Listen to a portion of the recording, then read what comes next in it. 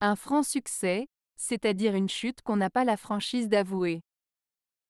Jules Renard. Dans cette citation, Jules Renard utilise une forme d'ironie pour dire que lorsqu'on dit qu'on a remporté un grand succès alors qu'en réalité on a subi une défaite, on manque de sincérité et de franchise. Il souligne donc l'importance d'être honnête avec soi-même et avec les autres, plutôt que de se cacher derrière des mensonges ou des faux-semblants. En somme, le vrai succès réside dans le fait d'accepter ses erreurs et de les surmonter plutôt que de les cacher ou de les nier.